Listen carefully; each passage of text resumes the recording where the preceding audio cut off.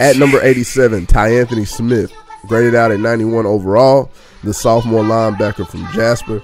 He is a playmaker and a ball player. Love this guy linebacker. Great athleticism, great explosion. Uh, playing next to Caleb Sales, another great linebacker for Jasper. Here he is blitzing through the line of scrimmage, making this play on the, uh, the outside zone for the. He is playing the spread team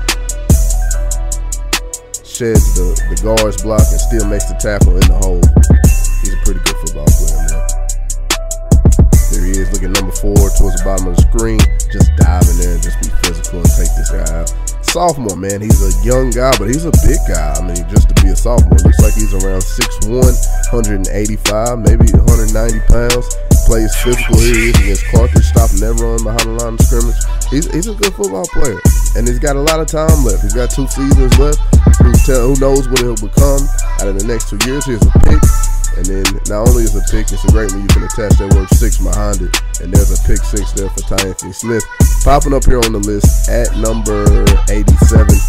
And probably a guy that we'll see for the next two years here on this list, Tyanthony Smith.